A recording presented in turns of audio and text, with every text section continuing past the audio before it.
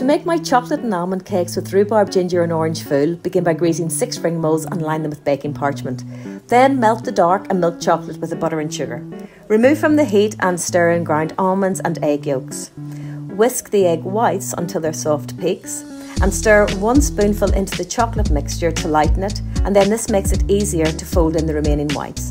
Divide the mixture between the lined molds, I use an ice cream scoop, and bake in the oven for 15 to 17 minutes. Meanwhile, make the fool. So place the rhubarb in a large pan with the grated ginger, orange zest, juice and sugar. Gently stir and cover and simmer for 3 to 5 minutes until the rhubarb is soft but still holding its shape.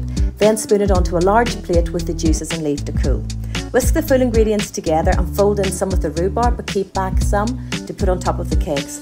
Then unmold the little cakes and top them with the fool and some rhubarb and that delicious syrup drizzled all over the top.